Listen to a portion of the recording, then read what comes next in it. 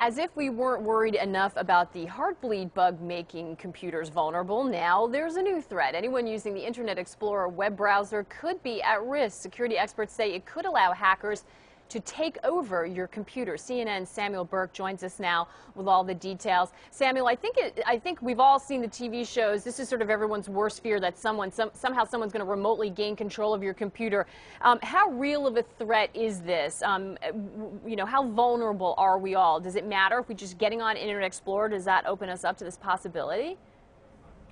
Well, Maggie, it's so serious that now even the Department of Homeland Security in the United States is advising people to not use Internet Explorer for the moment. They estimate that a um, bit more than 25% of the world uses Internet Explorer. But I want to be clear, just using that browser doesn't make you susceptible to this problem. It's if you use version 6 through 11 of Internet Explorer and then you click on a phishing link. Phishing is, of course, when you click a link that you think is your bank's, bank's website and then you enter your information there, but it's really just an imposter website that looks like your, your bank. I just spoke to the CEO of an important uh, cybersecurity firm here in Israel who told me that this problem will be patched on Internet Explorer uh, in the short term. The long term is really the people who are using Windows XP. Corporations typically try to keep up with the new version uh, but individuals like you or I at home might have an old uh, Internet Explorer XP version, and that means the vulnerability, if it confirms it exists, will be dormant there. And then maybe one day you're going to forget about it and you're going to actually click on that link and then someone will want or will be able to exploit uh, what is there to exploit.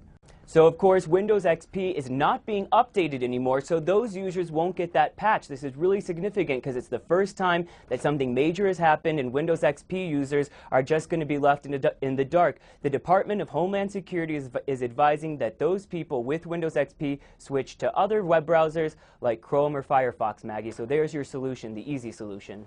Yeah, I mean, I guess that's the question. Does this mean that we, if you're if you're operating in an old computer, that you need to go buy a new computer? I mean, is that is that what you need to do in the meantime? Because you know, the idea that someone can take over your computer, this is serious stuff.